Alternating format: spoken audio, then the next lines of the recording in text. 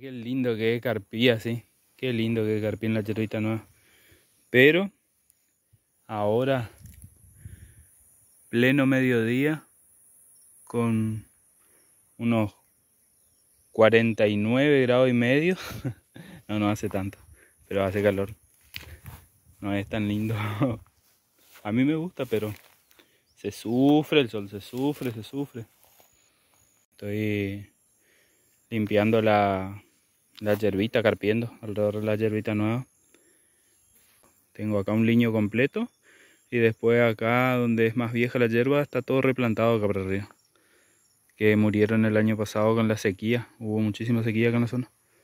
Así que hay que replantar, o sea se replantó todo lo que lo que murió y ahora hay que carpir alrededor para que la capuera no le coma porque se, como se tira abono, si no se escarpe, la capora come todo el abono.